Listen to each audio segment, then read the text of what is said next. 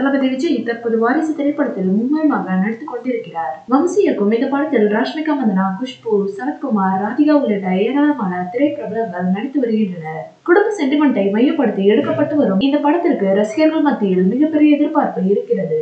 இந்நிலையில் நடிகர் சரத்குமார் விஜயை பற்றி ஒரு சுவாரஸ்யமான தகவலை கூறியிருக்கிறார். அதாவது பல வருடங்களுக்கு முன்பே நான் விஜய் தான் அடுத்த சூப்பர் ஸ்டாராக வருவார் என்று கூறினேன். தற்போது அவருக்கு இருக்கும் ரசிகர் கூட்டத்தை பார்க்கும்போது அது உண்மையாகிறது என்று தெரிவித்துள்ளார். மேலும் இது குறித்த ஒரு சுவாரஸ்யமான சம்பவத்தையும் அவர் நினைவு கூர்ந்துள்ளார். விக்ரமன் இயக்கத்தில் சரத்குமார் தேவயானி உள்ளிட்ட பலர் நடிப்பில் வெளியான திரைப்படம் சூரியவம்சம். மிகப்பெரிய அளவில் வெற்றி பெற்ற அந்த திரைப்படம் கிட்டத்தட்ட நூத்தி எழுபத்தி ஐந்து நாட்களை கடந்து ஓடியது. இந்த வெற்றியை கொண்டாடும் விதத்தில் அப்போது ஒரு விழாவும் நடத்தப்பட்டது. அந்த விழாவில் பல பிரபலங்கள் கலந்து கொண்டனர். அப்போது மேடையில் பேசிய சரத்குமார் இனிவரும் காலங்களில் விஜய் தான் அடுத்த சூப்பர் ஸ்டாராக இருப்பார் என்று கூறி கூறியிருக்கிறார் இதை பார்த்த பலரும் இப்போது நீங்கள் அடுத்தடுத்து வெற்றி திரைப்படங்களை கொடுத்து முன்னணியில் இருக்கிறீர்கள். அப்படி இருக்கும்போது வேறு ஒரு நடிகரை எப்படி நீங்கள் சூப்பர் ஸ்டார் என்று கூறலாம் என்று சரத்குமாரிடம் கேட்டிருக்கிறார்கள். ஆனால் அவரோ என் மனதில் பட்டதை தான் கூறினேன் என்று தெரிவித்திருக்கிறார். அந்த சம்பவத்தை பற்றி பேசிய சரத்குமார் இந்திய அளவில் விஜய்க்கு நம்பர் ஒன் கிடைத்துள்ளது. இதுவே அவருக்கு இருக்கும் பிரபலத்தை தெளிவாக காட்டுகிறது.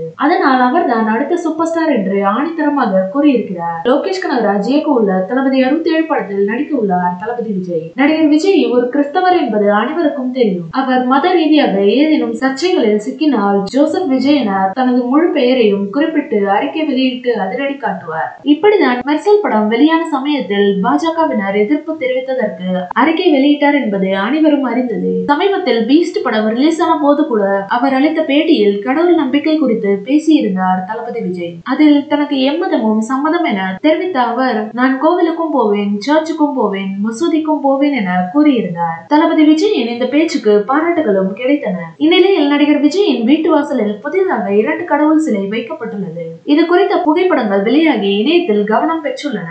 அதன்படி தளபதி விஜயின் வீட்டு வாயிலில் இருக்கும் பிரம்மாண்ட கேட் அருகே இடதுபுறம் அம்மன் சிலையும் வலதுபுறம் பிள்ளையார் சிலையும் வைக்கப்பட்டுள்ளன.